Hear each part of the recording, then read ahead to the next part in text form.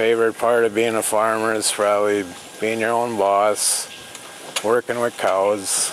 I really enjoy doing that. So My favorite part is probably being my own boss for as long as we've been in it, making our own decisions, and raising my family here.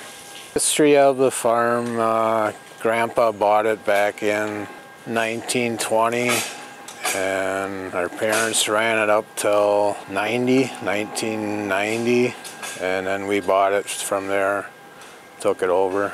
We milk uh, 370 cows with uh, about 50 dry cows. Uh, have the young calves and young stock on the farm, and we run about uh, 1,300 acres. We'll start about six, quarter after six in the morning. And then my job, I come over, I face feed piles. I get done with that, takes me about a three quarters hour. Then I go to the calf barn, and I help my wife feed the calves, do whatever needs to be done. After that, it's just jack of all trades, do what needs to be fixed, and then at night we come back in, kind of check on the cattle, do the health on the, make sure all healthy, no one's hurt. I'll let you tell you do.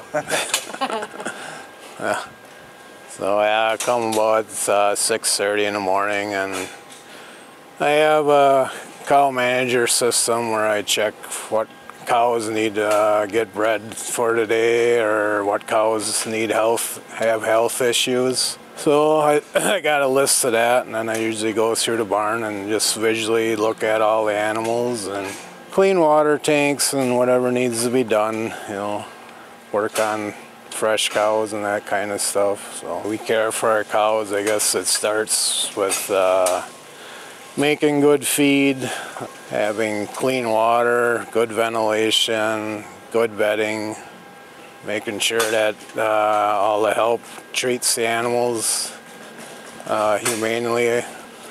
Water beds for the cows, rubber floors for the cows to walk on. Uh, We have the cow manager ear tags that have been uh, really big help, I believe, you know, for how the cows eat and act, and that's been a big, big thing for us. Future goals, I guess, would be keep it agricultural as long as possible. Hopefully those kids will take it over, I don't know. Yeah. It's hard to hard to say, but yeah, it would be nice to see it keep going.